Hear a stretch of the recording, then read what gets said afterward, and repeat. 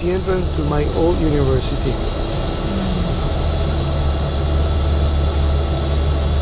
As I said, now they're in a different place.